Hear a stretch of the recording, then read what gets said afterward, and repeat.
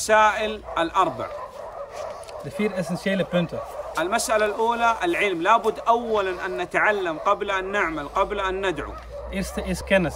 Men dient kennis te hebben voordat men gaat handelen en voordat men gaat uitnodigen. فإذا تعلمنا لابد أن نعمل بهذا الذي تعلمناه حتى يجتمع العلم مع العمل Als wij deze kennis hebben vergaard, dan dient deze gepaard te gaan met handelen. Zodat kennis en eh, handelen gepaard gaan en niet van elkaar afzonderlijk zijn. إذا تعلمنا وعملنا لابد أن ندعو إلى هذا الذي تعلمناه وعملنا به Nadat we deze kennis hebben vergaard en hiernaar hebben gehandeld, dan is het noodzakelijk om hier naar uit te nodigen.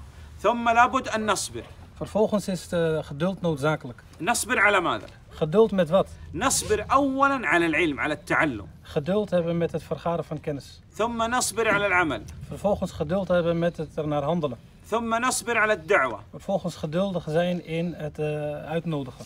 إذا صنعنا هذا في الدنيا بإذن الله نجيب عن أسئلة القبر Als wij hier aan voldoen, dan zullen wij bi'idnillah azza wa jal in staat zijn om de vragen in het graf te beantwoorden. الدليل على هذه المسائل الأربع سورة العصر De, het bewijs voor deze vier punten is het hoofdstuk uit de Koran, Surat al-Asr. أقسم الله سبحانه وتعالى بأن كل إنسان خاسر واستثنى من الخاسرين من يأتي بهذه المسائل الأربع Allah azza wa jal heeft gezworen bij deze zaken en hij heeft een uitgezonderd.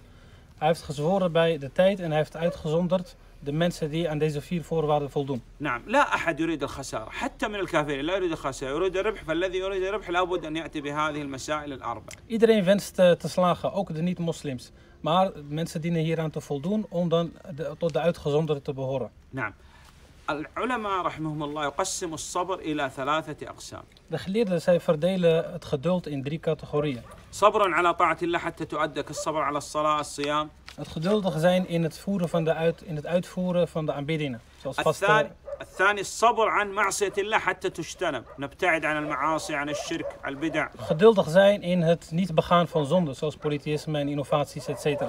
الثالث الصبر على ما يقدر الله على العباد مرض أو فقر أو ابتلاء والله أعلم Geduldig zijn in zaken die men overtreffen, overkomen. Zoals eh, armoede en andere, allerlei andere zaken met rampspoeden en noem maar op.